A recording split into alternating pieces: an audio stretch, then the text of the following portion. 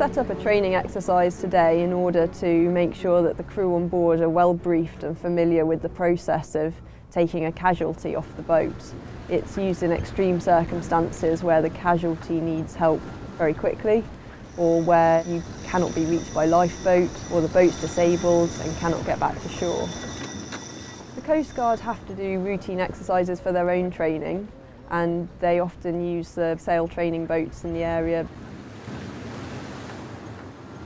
The most important thing is to make a plan in advance and communicate to the crew what's going to happen. When the helicopter gets close to the boat, there'll be an awful lot of noise, there'll be the downdraft of the helicopter, it'll be very difficult to communicate. So beforehand you need to make a plan about what's going to happen, what job everybody's going to have and whereabouts everybody's going to stand. You also need to establish communication with the helicopter before they get too close so that you can get a plan with them on the radio. The helicopter was in contact on channel 16 so if you've got a mayday going on at that particular time then you'll be using channel 16 exclusively anyway. The downdraft can disturb sails, loose gear on deck so it's important to have everything on deck stowed. If you've got head sails up it's usually best to bring the head sails down and if you've got things like man overboard gear at the back of the boat or Dan buoys, then perhaps consider taking them in. The helicopter will usually use the port quarter of the boat, so you need to make sure that that area is free. And they'll usually instruct you to steer either into the wind or close hauled if you're under sail, so that you're making progress to windward. The helmsperson's number one priority is not to get distracted. So they must carry on driving in a straight line. They have to make sure that they've got constant course and speed and usually they'll have been directed to be driving into the wind. It's much easier for them to actually keep going than it is for them to hover. So they'd rather not sit above you and hover with you stationary.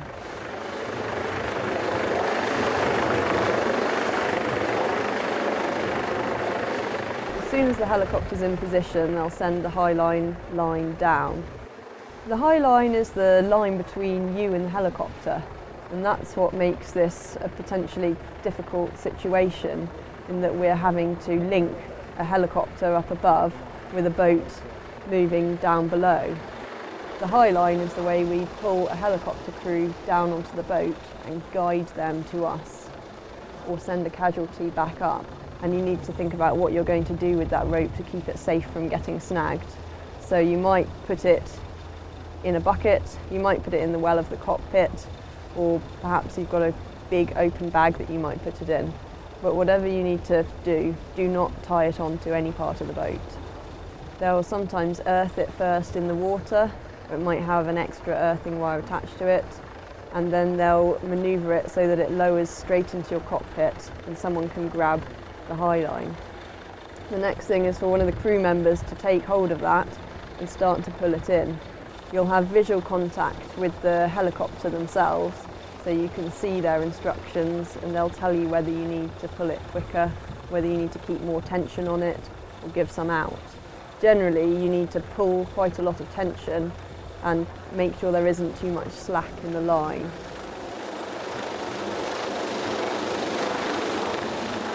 too noisy once the helicopter is overhead to really have a conversation. So you need to make sure you've been briefed in advance. You can make hand gestures and you might want to decide on some hand gestures before you start the transfer. They'll signal when they're ready to start lowering the helicopter crew and then you'll start guiding them into the cockpit with one or two people pulling them and helping get them inboard over the guardrails and safely into the cockpit.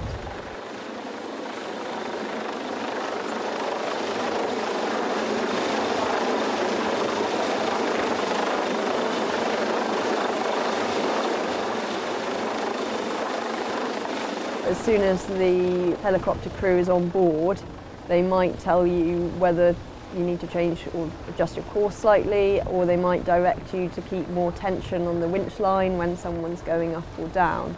They'll try to communicate a little bit if they have to, but it's quite difficult to. In this particular case, the helicopter sent down two people The first person that came down was a pretend casualty, so once he got into the cockpit, a second person came down to rescue him.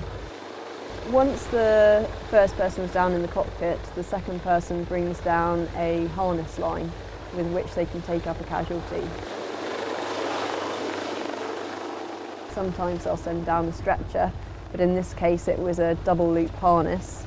So the first person that came down put the harness line on, and the second person that came down who was rescuing them clipped the first person to their harness and took them up with him